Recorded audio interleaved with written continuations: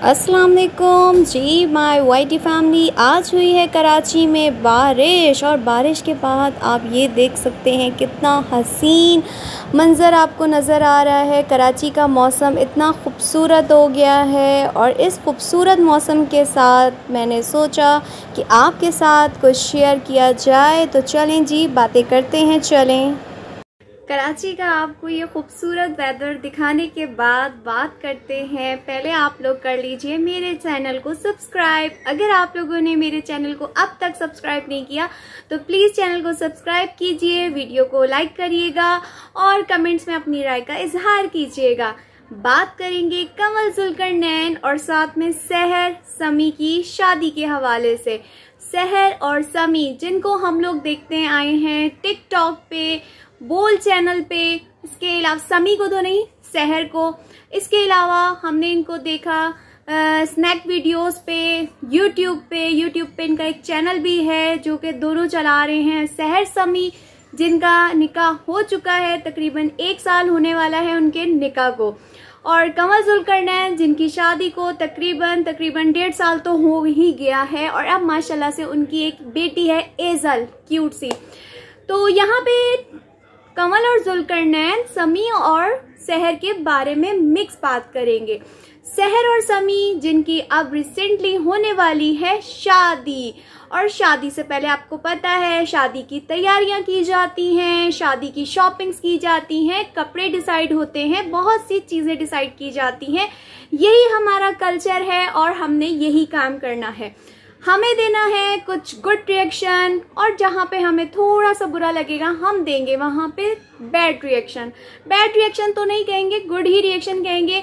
सबसे पहले तो मैं सहर और समी को कहना चाहूँगी कॉन्ग्रेचुलेशन फॉर योर मैरिज और अपकमिंग, यानी होने वाली। वैसे तो माशाल्लाह जो हमारे इस्लामी हिसाब से निकाह हो चुका है, ये हस्बैंड वाइफ हैं, लेकिन अब जो बेसिक चीज़ है जिसको रुखसती कहा जाता है, अब उसका वक्त आने वाला है और तैयारियाँ शुरू हो चुकी हैं। तैयारियाँ कैसे हो रही हैं, क्या हो रहा है ये सारी चीज़ें मैं आपको दिखाती हूँ और साथ साथ बात भी करते हैं।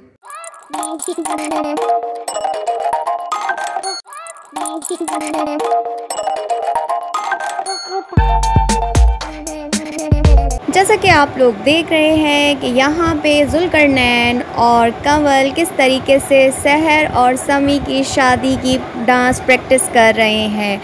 वैसे तो अब हमारे कल्चर में भी ये सब ऐड हो गया है। जी, शादी से पहले तमाम लड़के लड़कियाँ किस तरीके से एक दूसरे के साथ मिल के और डांस की प्रैक्टिस करती हैं हल्ला गुल्ला होता है। हमारे पाकिस्तानी मैरिजेस में भी अब ये सब कुछ होने लगा है। यहाँ पे हमें साथ जुलकर नैन एंटरटेन भी कर रहे हैं। अब इस बात को हम क्या कहें अच्छा या बुरा, ये तो हम क्या नहीं सकते। और यहाँ पे अब आप देख सकते हैं, इनकी शादी की तैयारियाँ भी शुरू हो चुकी हैं। लहंगा डिसाइड हो रहा है। कमल उनकी हेल्प करने के लिए जुलकर नैन और कमल भी साथ साथ आपको नज़र आ रहे हैं। और यहाँ पे देखें माशाल्लाह सहर कितनी प्यारी लग रही हैं। मतलब प्यारी से मुराद, उनका ड्रेस अभी बहुत प्यारा लग रहा है। और सहर साथ अपने होने वाले मतलब होने वाले क्या हो चुके हैं? उनके हस्बैंड निकाह उनका हो चुका है। बहुत पहले ही एक साल होने वाला है उनके निकाह को और उनका कुल्ला और शेरवानी पसंद की जा रही है। शेरवानी की जगह जहाँ पे समी अपने लिए कुछ नया ट्रेंडिंग चीज़ देख रहे हैं जो आजकल इन है बहुत ज़्यादा हमारे पाकिस्तानी मैरिजेस में, इसको वेस्ट कोट कहा जाए या क्या कहा जाए। और यहाँ पे अभी कुल्ला इसके साथ डिसाइड नहीं हो पा रहा था और ये हमारी आजकल की शादी की तैयारियाँ जी तो माई वाइटी फैमिली आप लोगों ने ये सब कुछ देखा कि कमल और जुलकर नैन किस तरीके से डांस प्रैक्टिस में सहर समी के साथ पार्टिसिपेट कर रहे हैं। एक वक्त हुआ करता था कि दुल्हा दुल्हन जो है, वो शर्माए हुए एक कोने में बैठ जाया करते थे और सबको देखा करते थे डांस की करते हुए। यही कुछ मेरी शादी में भी हुआ था और बहुत से हमारे लोगों में यही कुछ होता आया है। लेकिन चूँकि अब एक ट्रेंड बन चुका है कि शादी में लड़का लड़की जिनकी शादी है, उन्होंने तो मस्टली डांस करना है। और बाद में उनके सारे जो उनके रिश्तेदार हैं रिलेटिव्स हैं कजन्स हैं और फ्रेंड्स हैं, उन सबने भी पार्टिसिपेट करना है। लेकिन यहाँ पे हमने देखा कि शहर के साथ उनकी एक फ्रेंड थी कज़न थी, भाई थे, और उसके अलावा समी भी वहाँ मौजूद थे। सहर और समी अपनी शादी के लिए, मेहंदी फ़ंक्शन के लिए डांस की प्रैक्टिस कर रहे थे और कमल जुलकर नैन भी उनको, उन्होंने ज्वाइन किया हुआ था।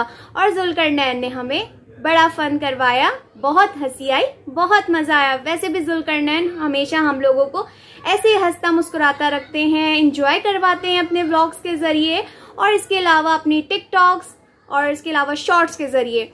तो अल्लाह पाक इनकी जोड़ी को, दोनों की जोड़ियों को सलामत रखे, खुश रखे। Best wishes for Muntahaz reaction from Muntahaz reaction और आप लोगों को मेरा ये रिएक्शन कैसा लगा? कैसा आपको पसंद आया?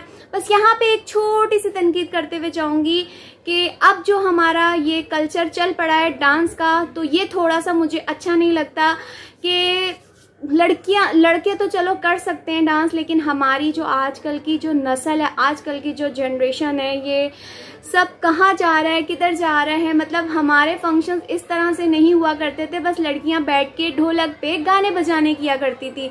लेकिन अब जो ये डांस का कल्चर जो हमने बाहर से लोगों से पिक कर लिया है फॉरेन कंट्रीज़ से इंडिया से, ये सब हमने पिक कर लिया है। तो अब हम लोगों ने भी अपने इस्लामिक कल्चर में इस चीज़ को ऐड कर लिया, जबकि हमारे इस्लाम में इन चीज़ों की कोई जगह नहीं है, इन चीज़ों की ममानियत है। इस्लाम में मना है कि आपकी बेटी इस तरीके से ना नाचे।